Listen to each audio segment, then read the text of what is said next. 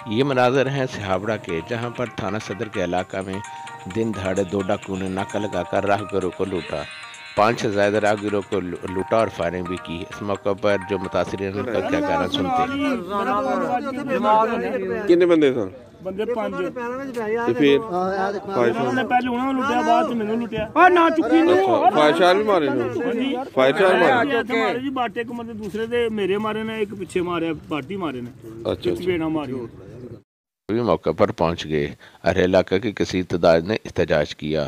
احتجاج کرتے ہوئے زائرین متاثرین کا کہنا تھا کہ ہمارے ساتھ بہت بڑی زیادتی ہوئی ہے۔ اس موقع پر پولیس نے پہنچ کر تسلی تو دی، لیکن ان کے زخموں پر مرہم نہ رکھا۔